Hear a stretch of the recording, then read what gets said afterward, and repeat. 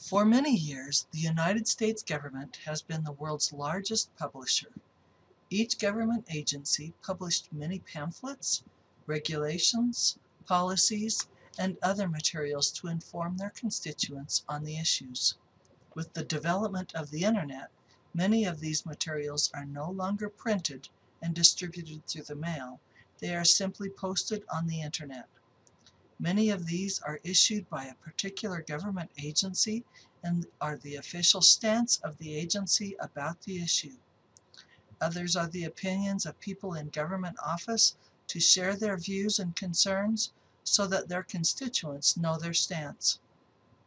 Others are reports based on government-funded research. While all of these are on .gov websites, government documents are materials published by a government agency and don't have a personal author. You will need to locate a government document on your topic that has a government agency for the author, not a personal author. Probably the easiest way to locate a government document is to enter your search and on your first results page, go to Settings in the upper right corner and choose Advanced Search. On the next screen, you can limit the results to .gov websites. You can add a few other limits, but be careful. There is no official indexing, subject headings, or other labels, these limits are based on how the material was posted online, and there is no consistency. You might find the limits helpful, but they are unreliable. Then begin a review of the results. On many computers, the scholarly articles on your topic will be at the top, but most of these will have personal authors. If you know the name of a government agency that may have information on your topic, you can enter that in the search bar it should help. After looking through several sources, I finally found one that addresses my topic and is authored by a government agency, not a personal author. However, the web page only has a couple paragraphs and then a bunch of links to other sites, and none of the links proved helpful, so I returned to my results list. After looking through a few pages of results, I finally found something useful. To cite this source, you need to identify all the elements, such as the author, which is the agency responsible, the title, the publication number, and the publication date. Also, make sure you have the complete URL for the citation. It is important to remember that the parent type of source is a government document, so the citation guidelines are for government documents whether print or online. In APA, the citation begins with the government agency as the author. Make sure you have the specific office that authored the material. Include the name of the state, city, or other government entity only if it is part of the name of the agency. The complete date is provided with the year, month, and day as provided on the document or website. The title is in italics with only the first word of the title and subtitle capitalized, and if the report has a publication number, put that in parentheses after the title.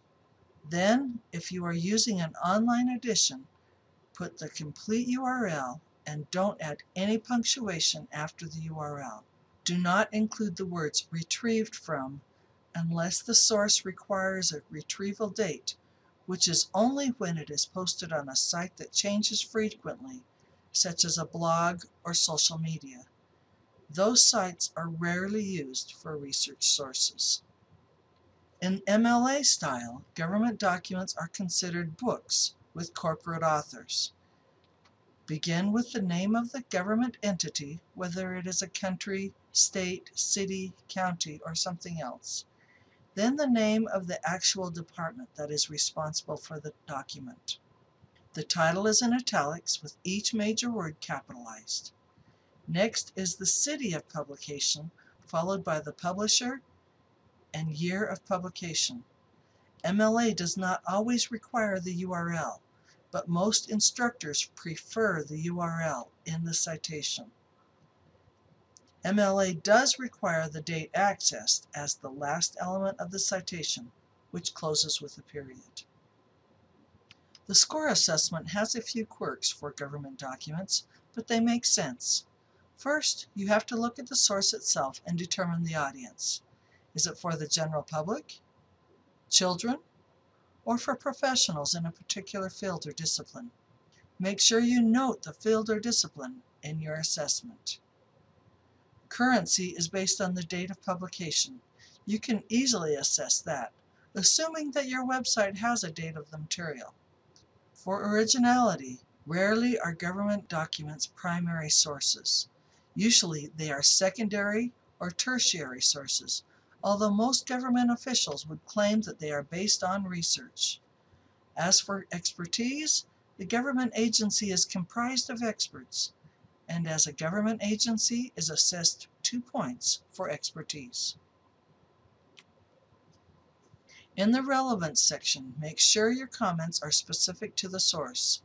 If you have an abstract, a useful summary develops from reading that. If not, scan the introduction and conclusion. You should be able to grasp the author's goals and what was accomplished, and sometimes the impact of their findings. As always, if you have any questions or want my assistance, please contact me.